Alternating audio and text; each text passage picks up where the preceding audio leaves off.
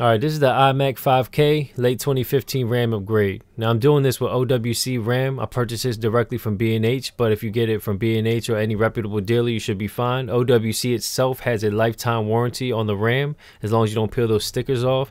Now they serve these two different ways from B&H. They have them in individual packs like this, or you can buy them in a group pack. Now I chose to buy the a la carte because the a la carte for some reason you can save about six dollars or so or eight dollars so i just did it this way. Now long story short i went back and purchased the entire pack because it, the entire pack comes I, am believing they probably are tested together to make sure they're more matching rams. I have no idea but i ended up doing that because in the shopping cart they only let you do three at a time. This particular ram I, I got all this at the same time i got my new imac. Everything is maxed out minus the ram. I got the two four gig sticks which are eight gig uh, total for the apple ram and then i just went and paid for the upgrade and I had it all shipped to me the same exact day. So from this point, having a brand new iMac and brand new memory, I never understood what was going on, but I had a lot of hard crashes with my computer and I thought it had something to do with DaVinci itself or compatibility with my OS. Long story short, one of the RAM or more than one of the RAM sticks were actually bad. So this is the part you take off in the back. Like I said, it's brand new at this point.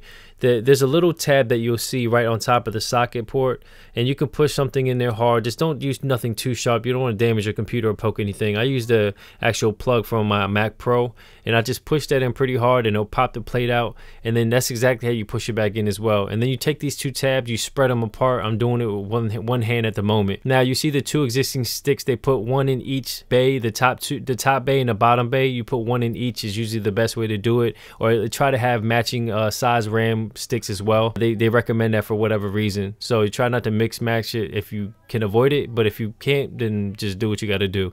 So you just pull these out. At first, it was kind of hard to reach. A lot of people put a blanket or something to lay it down. But I did this all standing up and I was holding the camera. So it made it a little difficult to pull the RAM out. It felt like I might have uh, I don't know, like it was a little hard. I didn't want to damage anything, but I, you have to squeeze it really tight from the center point. At least that's where I did it and popped it out. Now I do notice that between putting the factory RAM in versus the OWC. The OWC seems to be a little fatter towards the end, so when I pushed it in, it, it seems a little harder. Push it until you feel or hear the snap, it'll lock in place. And you pretty much do one at a time. This is the RAM sticks up close. OWC lifetime warranty, just don't peel that white sticker off and you should be fine. Their policy is, seems to be pretty great. And if you want to peel this off, you just pretty much, instead of doing what I'm doing here, you just peel it back like that and it'll come right off. And then when you put this back on, you just want to put all the things back in, push everything back opposite and uh, you should be good to go and power back on. If this was helpful at all, please hit like and subscribe or visit www.howtoandreviews.com. Till next time.